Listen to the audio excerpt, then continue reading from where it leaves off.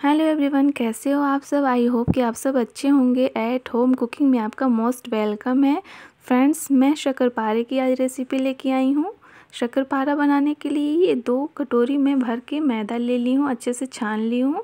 जिस कटोरी से मैं मैदा ली थी उसी कटोरी से आधी कटोरी में घी लूँगी। ये हल्का गर्म घी है। इसको इसमें हम डाल देंगे अच्छे से और इसमें हम बहुत थोड़ा सा नमक भी डालेंगे। अब आप सोचते होंगे, शक्कर पारे में नमक? जी हाँ शक्कर पारे में थोड़ा सा आप नमक डालेंगे तो शक्कर पारे बहुत ही अच्छे और क्रिस्पी होंगे। तो आप ज़रूर इसको फॉलो करें। थोड़ा सा नमक बस एक मिनट ज़रूर डालें।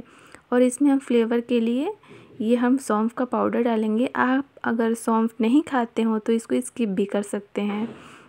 अब इसको हम अच्छे से मसल लेंगे। आप घी की जगह पे रिफाइंड ऑयल का भी यूज़ कर सकते हैं।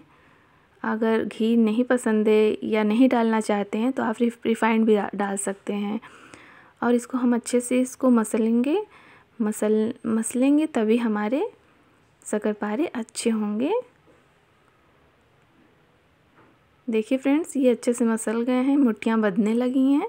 अब हम इसमें हल्का गर्म दूध ले लेंगे। और उसी से थोड़ा थोड़ा डाल के हम गूँद लेंगे। एक ही बार ज़्यादा दूध ना डालें, इससे ये गीला हो जाएगा। और गीला हो जाएगा तो शक्करपारे अच्छे बनेंगे नहीं।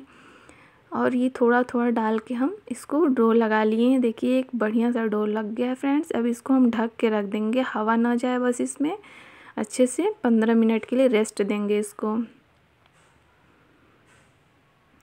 और जिस कटोरी से मैदा ली थी, उसी कटोरी से आधी कटोरी दूध में ये गुद गया है। अब चलिए हम पंद्रह मिनट के बाद इसको फटाफट से बेल के एक शेप दे देते हैं। आपको जैसा भी शेप देना हो शक्करपारे का दे सकते हैं।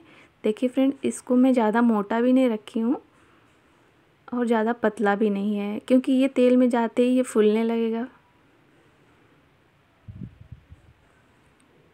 आप अपने पसंद का शेप दे सकते हैं।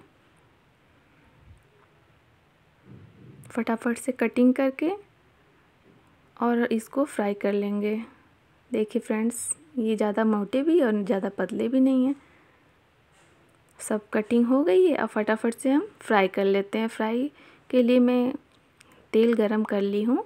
अब इसमें मैं सब डाल दूँगी, सारे शक्करपारे की कटिंग को डाल दूँगी। और हमेशा आप जब भी शक्करपारा बनाएँ तो इसको फ्लेम को आप लो ही रखें।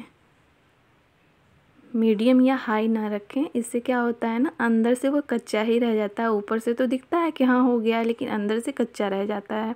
तो आप हमेशा लो ही पे इसको फ्राई करें। ये देखिए, अच्छे से फ्राई हो रहा है लो पे। बहुत क्रिस्पी बना है फ्रेंड्स, बहुत अच्छा बना है। आप ज़रूर ट्राई करें एक बार ये रेसिपी। ये फ्राई हो चुके हैं, कलर बहुत अच्छा आया है। अब इसको हम निकाल लेते हैं दूसरे बर्तन में। मैं सारा निकाल ली हूँ। अब चलिए हम चाशनी बना लेते हैं। चाशनी बनाने के लिए ये चीनी ले ली हूँ। जिस कप से, जिस कटोरी से मैं दो कटोरी मैदा ली थी ना, उसी कटोरी से मैं दो कटोरी चीनी भी ले ली हूँ। और उसमें आधी कटोरी में पानी डाल दी हूँ। और इसमें दो क्रैकर करके छोटी इलायची, हरी इलायची जो होती है, उसको डाल दूँगी। और इसको तार नहीं लगाना है, बस ये चिपचिपी हो जाए, बस इतना ही हमें चाहिए। बस चिपचिपी हो गई, ये हो गया, रेडी हो गया। अब इसको हम गैस के फ्लेम को ऑफ़ कर देते हैं और एक बर्तन में पारे को रख लेते हैं। सारे पारे को एक में रख, बर्तन में रख के उसके ऊपर से हम जो शुगर सिरप बनाए थे, चाशनी बनाए थे ना, उसको हम डाल देंगे और मिलाते रहेंगे। मिलाते रहेंगे ताकि ये सारा शुगर एब्ज़ॉर्ब कर ले, जितनी चाशनी है पारे एब्ज़ॉर्ब कर लें। देख सकते हैं फ्रेंड्स ऐसे ही मिलाते रहना है।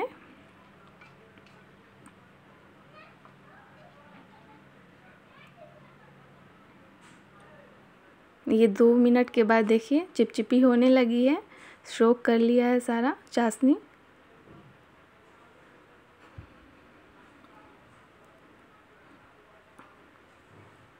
पाँच से सात मिनट में ऐसा दिखने लगा है खाने के लिए।